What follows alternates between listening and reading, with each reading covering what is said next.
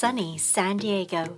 That's what we call it. In this video, I'll share with you the top 10 things you can do in San Diego. It's in the south of California, and it's the oldest town. It might be the oldest town in California, but San Diego is for those who are young and young at heart. The positive ambience of San Diego makes it the best place to be if you're looking for a place to lay back and unwind. With its culture, natural beauty, and Mediterranean climate, you can't go wrong. There's 70 miles of beaches in every corner in this laid back neighborhood. So, what are you waiting for?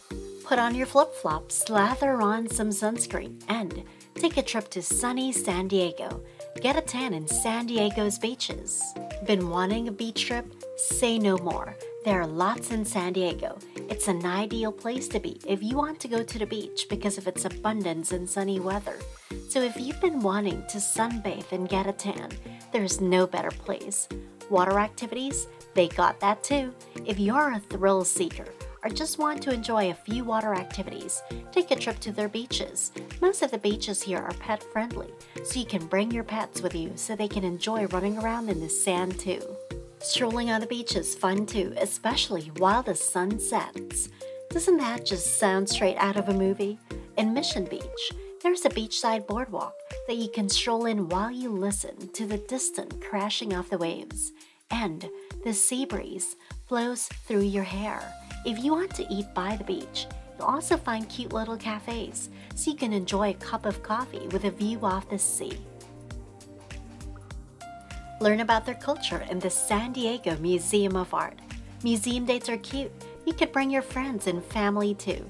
Taking a trip to a museum is not only fun but enriching.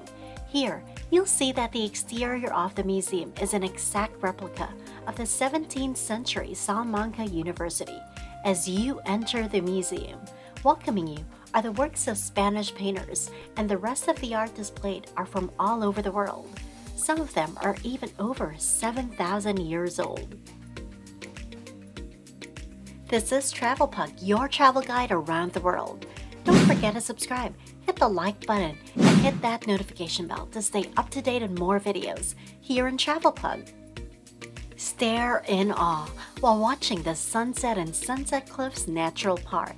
It's on the name of the park for a reason to catch sight of the sunset in the park it's undeniable that it's a great place to watch the sunset. What makes it even better is that it's 68 acres along the coast, so you're watching the sunset with a view off the ocean. You get a panoramic view of the horizon as the sky turns from blue to different tones and hues of orange. If you find yourself here during the gray whale migration season, you might even see these beautiful creatures swimming around explore in the Maritime Museum of San Diego.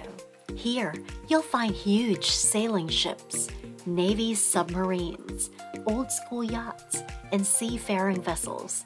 You can explore these, and some of them you can even ride on. This museum used to only put on display the Star of India, which is a historic ship, when it opened in the year 1948, but now you'll see 11 various exhibitions that you can learn about and explore further. But the Star of India, of course, is still one of the most popularly known, so it's a good place to start when you start going around the museum. You wouldn't want to miss out on wine tasting in San Diego if you're looking to spend some me time away from the kids or looking for the next exciting activity you can do with your friends and family then this should definitely be a part of your list. Located in a North County farmland with rugged East County terrain, it's a hidden gem. Along the coast and the mountains of San Diego, you can enjoy a wine tasting while touring around this family owned business. If you're a wine connoisseur or you just enjoy a glass of wine, you'll surely have fun on this trip, where you won't only get the best quality wine but you also learn a lot more about the process and artistry that goes into winemaking. Take a trip to the Torrey Pines State National Reserve. You'll be mesmerized by this wilderness oasis. Funny enough, you'll find this in an urban environment. But once you're in this place, it will make it seem like you're in a magical forest, straight out of a fairy tale. Here you'll see the rarest pine tree called Pinus torreyana. Isn't that amazing? How many people do you know that have seen the rarest pine tree? There is also a species of waterbirds that live in the salt marsh. The natural and intricate beauty of this habitat is definitely worth visiting, where you will only see wildlife, but vegetation too, while enjoying all the beauty that nature has to offer. Take some pictures to bring home with you in the Point Loma and Cabrillo National Monument, a must-see site to visit. Get ready to be left speechless as you gaze at the views of the city and the Pacific Ocean. Point Loma is a lighthouse that was built in 1858. Aside from that, you'll find a big statue of a famous maritime explorer, Cabrillo, hence the name of the monument. Known for his great voyage of discovery, the statue overlooks the country he's known to have discovered. Take the kids to the San Diego Zoo, the most well-known zoos and one of the country's largest, a family-friendly site where you can make memorable memories with the kids. Not only the kids will have fun, but you will too. It's surely a great place to be if you're looking for some fun while learning about a variety of species you'll see at the zoo. You'll need to set aside a full day to explore the whole zoo for you to get the most out of it. You don't want to miss out on anything. A fan favorite are the giant pandas that are nurtured and cared for. Another are the gorillas, koalas, grizzly bears, leopards, rhinos, and sloths to name a few. The enclosures were built to mimic their natural habitat. Have fun on a night out in the Gaslamp Quarter. A fun fact is that it got its name, the Gaslamp Quarter, because of the gas lamps that lined the streets of this city, a metropolis that was then a red light area. Here, you'll experience the culture and history of San Diego. Aside from the lively atmosphere of the city, you can do a little or a lot of shopping. Doesn't love shopping? Well, it isn't everyone's cup of tea.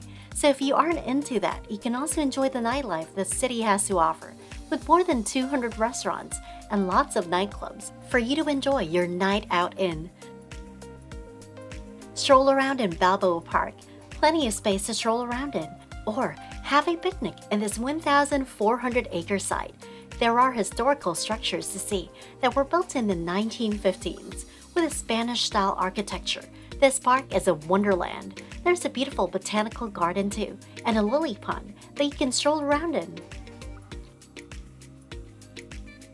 Have fun under the sun in San Diego.